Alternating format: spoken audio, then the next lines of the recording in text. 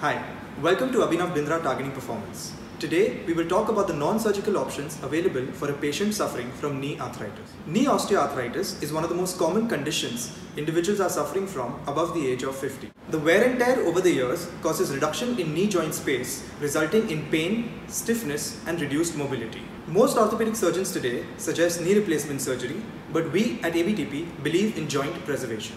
A thorough assessment of your knee joint is followed by a treatment plan to help reduce your pain and strengthen the muscles supporting the knee. In the acute phase, care therapy helps to reduce pain and swelling. We then put you on the isokinetic machine which helps improve your knee range of motion.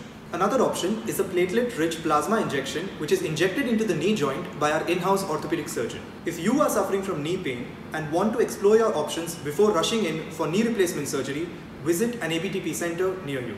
For more information, visit our website abtargetingperformance.com.